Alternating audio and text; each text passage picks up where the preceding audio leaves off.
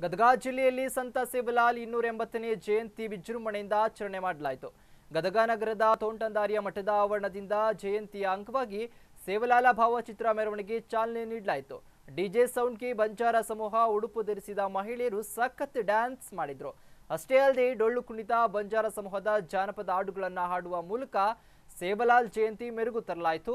ಏನೋ ಪಾಕಿಸ್ತಾನದ ಉಗ್ರರ ದಾಳಿಗೆ ಹುತಾತ್ಮ ಯೋಧರಿಗೆ ಗಾಂಧಿ ವೃತ್ತದಲ್ಲಿ ಭಾವಪೂರ್ಣ ಶ್ರದ್ಧಾಂಜಲಿಯನ್ನ ಸಲ್ಲಿಸಿದ್ರು.